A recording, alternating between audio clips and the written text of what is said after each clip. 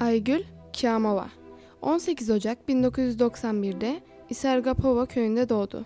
2005'te Bavli şehri sanat okulundan mezun oldu. Kazan, Fesin Sanat Okulu'nda sanat eğitimi aldı ve buradan sanatçı öğretmen derecesiyle mezun oldu. 2011-2017 yılları arasında Moskova 6. Surikov Devlet Akademik Sanat Enstitüsü'nden onur derecesiyle mezun oldu. Çalışmalarında yetenekli ve gerçekçi bir sanatçı olduğunu kanıtladı. Çalışmaları sırasında aktif olarak sergilere katıldı, bölgesel, cumhuriyetçi ve uluslararası projelere katıldı. Birçok kişisel sergi açtı. Uluslararası Plein Air üyesidir. 2014 yılından beri Tataristan Sanatçılar Birliği ve Genç Sanatçılar Yaratıcı Birliği'nin üyesidir.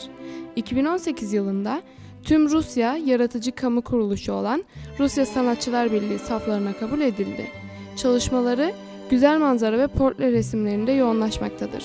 Özellikle tarihi temalardan etkilenmektedir. Меня вдохновила история моего народа, история женщин, получается, которая а, у нас м, известна большая часть это сюнвики, но есть также другие, которые были военачальниками. А, также вера в Бога, сложная ситуация, трудная ситуация. Всегда люди обращаются. Какой бы религии человек ни был.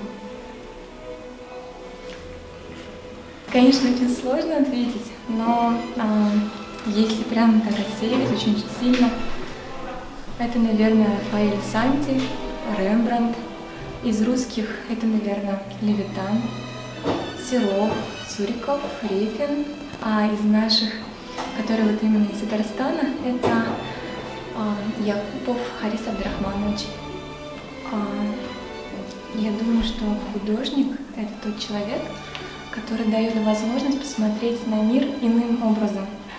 Не глазами, как мы привыкли, а именно сердцем. И тот человек, который дает нам возможность заглянуть в прошлое, в историю, а, восстановить какие-то события. Меня так.